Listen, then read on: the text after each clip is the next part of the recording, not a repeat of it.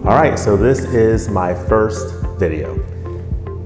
My name is James and I am launching a forum here on YouTube for film lovers covering films from the early days of cinema to current day.